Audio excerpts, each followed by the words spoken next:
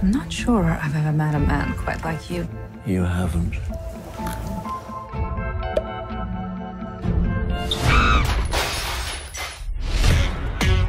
We have a problem. Good.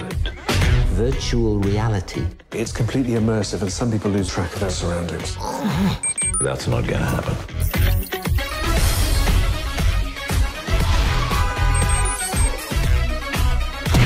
Can